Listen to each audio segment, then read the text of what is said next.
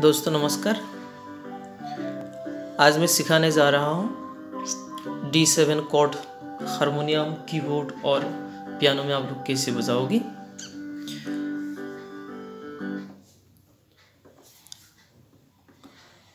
D seven cord बजाने के लिए फ़र्स्ट नोट लेने का D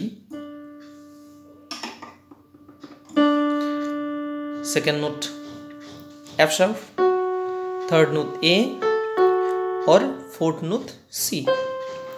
डी के लिए फ़र्स्ट फिंगर, एफ़ शार्प के लिए सेकंड फिंगर, ए के लिए थर्ड फिंगर और सी के लिए फोर्थ, फिफ्थ फिंगर।